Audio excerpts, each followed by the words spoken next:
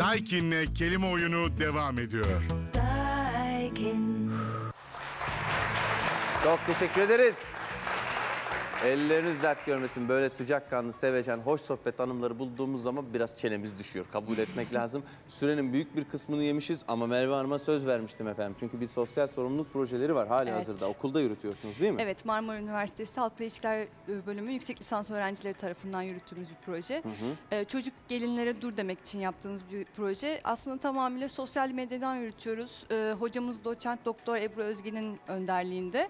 Çocuktan gelin olmaz diye bir Facebook hesabımız var. Aynı zamanda da KSS çocuktan gelin olmaz hashtag ile Twitter'da da bir şekilde sesimizi duyurmaya çalışıyoruz. Ne zaman başladınız bu uğraşlara? Ee, Mart ayında başladık ama sosyal medya hesabımızı daha iki hafta önce açtık. Hı hı. Ee, yani tamamıyla amacımız farkındalık yaratmak. Tek bir kişiyi bile etkilesek bizim için yeterli. Tek bir kişide bile bir farkındalık oluştursak, tek bir kişinin bile fikrini değiştirsek bizim için yeterli.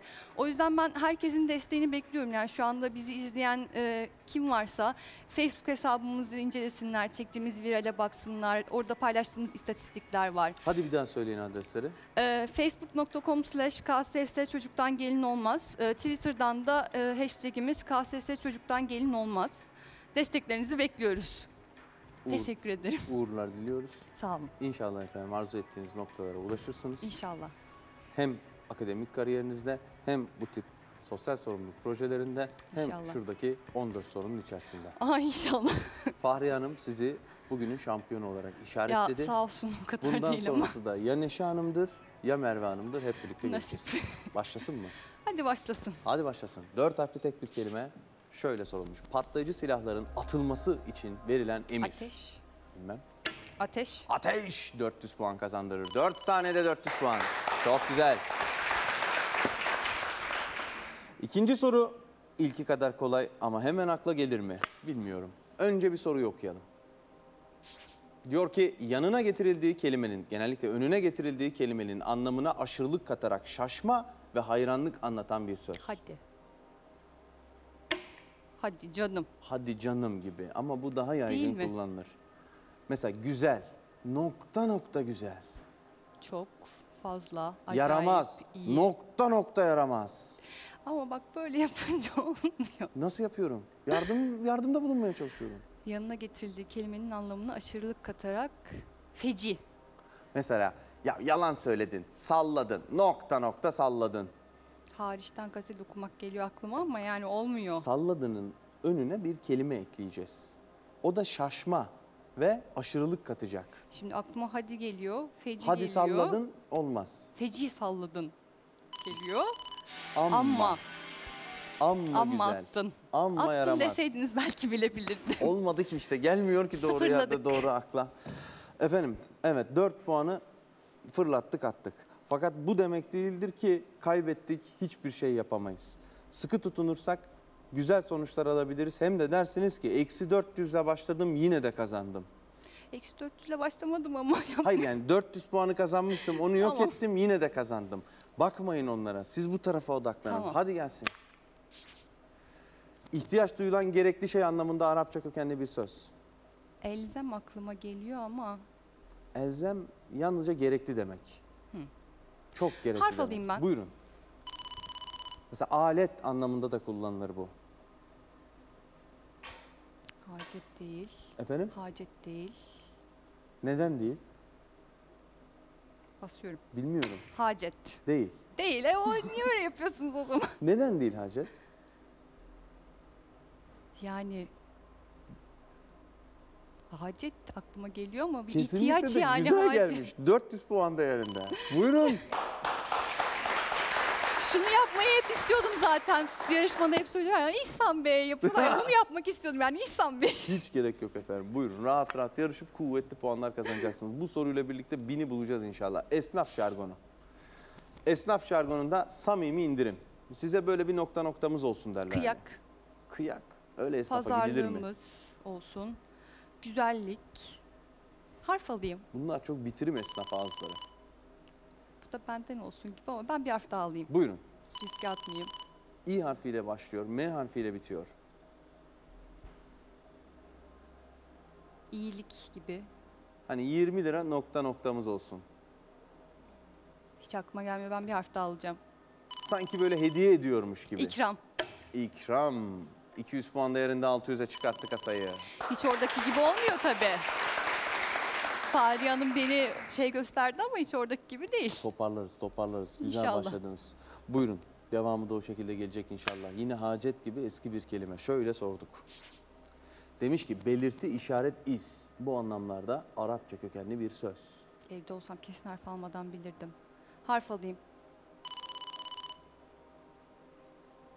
Belirti, işaret, iz. Bir harf daha alayım. Hayırlı bir işaret.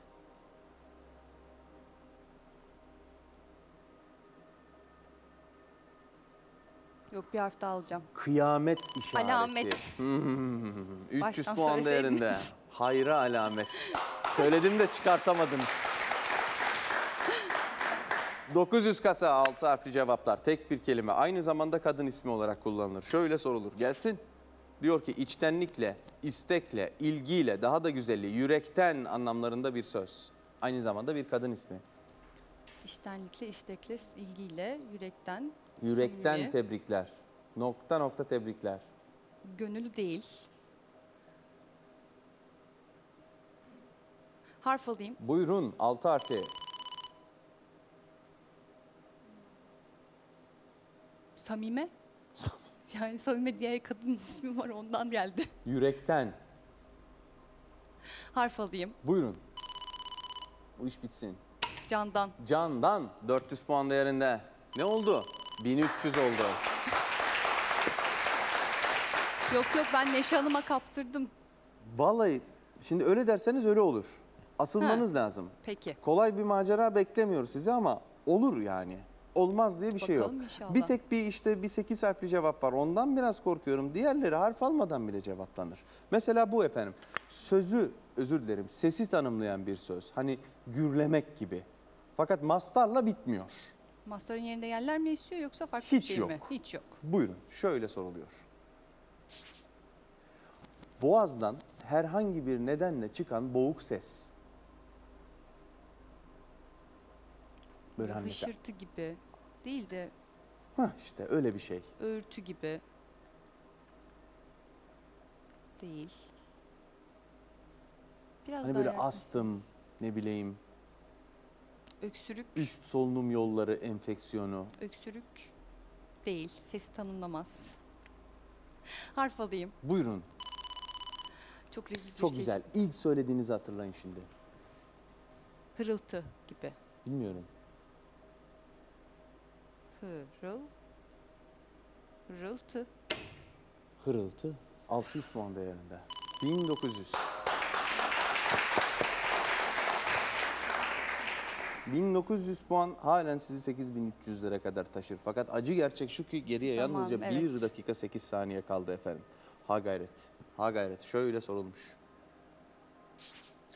Mahkeme kararında kararın dayandığı yasal ve hukuksal sebep. iki tane hukukçu var. Gele gele size geldi. Ben ne evet yapayım? ya. Buyurun. Yasal ve hukuksal sebep. Ben bir harf alayım. Alalım. Sebep. Neden? Nedeni ne olabilir? Hukuksal sebep. Bir harf daha alayım ondan Buyurun. durdurayım.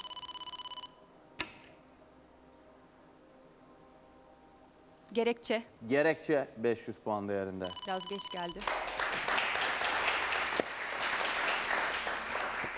8 harfli cevaplar. İlki çok kolay çünkü ikincisi oldukça zor. Buyurun gelsin. Ne kadar da kolay. Keskinliğini kaybetmek. Kesici Belirsiz. bir alet için Ha, körelmek. keskinliğini kaybetmek körelmektir. 800 puan kazandırır. 3200'e çıkar. Geldik zor sorumuza. 8 harfli tek bir kelime. Aslında bilen insan için pat diye cevaplanacak bir soru. Mesela Fahriye Hanım resim kursuna gitmiş. 4 defa gitmiş ama yine de cevaplardı yani. Buyurun gelsin. Fotoğraf veya tablonun kenarlarında fon kağıdı ile oluşturulan çerçeve ile konu, edile, konu arasındaki boşluk. Özür dilerim biraz garip garip okudum. Şu hani resmin kenarında o fon kağıdı ile oluşturulan Evet. boşluk. Onun ismi nedir? Fransızca kökenli. Harf alayım. O kağıda da nokta nokta kağıdı derler. Parşömen. Parşömen Değil. değil. kağıt deyince aklıma direkt o geliyor. Bir harf daha alayım. 15, 14. Gitti kaçtı elimizden. Harf alaydık keşke ya. Fotoğraf veya tablonun kenarlarında fon kağıdı ile oluşturulan çerçeve ile konu arasındaki boşluk. Yani resim ile çerçeve arasındaki boşluk. Gözünüzün önüne geliyor Evet zannediyorum. gözümün önüne geliyor da İşte onun bir adı var. Fahriye Hanım, Neşe, Neşe Hanım kaldırdı çıkar. elini. Paspartu. Paspartu kağıdı. 2600 puana geriletti sizi. Buyurun 9 harfli cevaplara. Kaçırdık treni. Cevaplayabildiğimiz kaçtı. kadarını cevaplayalım. Eskiden beri süre gelen yaşayış tarzına ve Gelenekçi. törelere bağlı kişiye gelenekçi derler. En sevmediğim şey. Ne zaman ki kalmıyor efendim hırs. Cevaplar çatır çatır verilmeye başlanıyor. Buyurun bir diğeri. 9 harflidir tek bir kelimedir. Kelime anlamı dağınık, saçılmış, parça parça olan bir satış Pes. biçimi. Ne? Satış biçimi. Harf istemediler ama hadi verin. istemedim ama pespaye gibi mi? Satış Ha, biçimi. satış biçimi. Ha, gitti. Toptan satarız. Perakende. Perakende satarız. 800 puan kazandırır. 4000'in üzerine çıkar kasa. Hiç kendimden beklemediğim bir performanstı. Valla çok daha yükseğe gelebilirdi. Zaten işaretini Fahriye Hanım vermişti ama burada durum biraz değişiyor Evet. işte. Ama 5 güzel performans izledik. Ellerinize sağlık. Bu bir yarışmadır. Elbette her yarışmada olduğu gibi bir tane şampiyon gerekiyordu. O da şu anda yüzünde güller açan Neşe Hanım. E bir alkış verin. Tebrik ederiz. Ben teşekkür ederim. Dediğim gibi çenem düştü sizleri görünce. Süremizi oldukça açtık efendim. Çok çok teşekkür ediyorum. Ayrı ayrı müsaadenizle siz burada otururken de programı kapatmak istiyorum. Yarın yine buradayız. Bu haftanın son gün şampiyonunu belirlemek için efendim kendinize iyi bakın. Bizi de öksüz bırakmayın. Hoşçakalın.